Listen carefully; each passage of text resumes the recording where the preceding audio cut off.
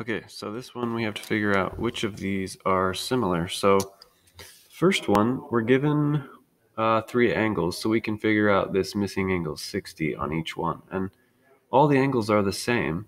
All the corresponding angles are, are the same. So these are similar because of that reason. The second one, we just have to check some ratios. So the ratio of this triangle side to this side should be equal to the ratio of the big triangle to the other side. That's this is one thing we could check. So this whole side is 4, this whole side is 6, and 2 over 3 is equal to 4 over 6. So because that's true, that's all we have to check. We can do the same thing on this one.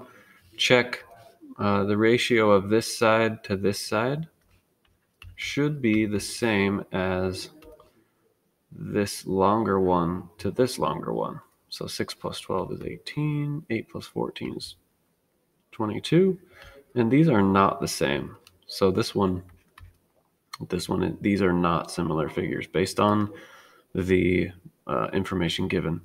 And then the last one, if I fill in, this is a square, so that should be 4. I can tell it's a square because three right angles means this must be a right angle. So then I can check you know the the the ratio of these two sides 4 over 4 should be the same as the ratio of these two sides. 4 plus 3 is 7 and this one's 7 and those are equal. So 3 out of 4 are similar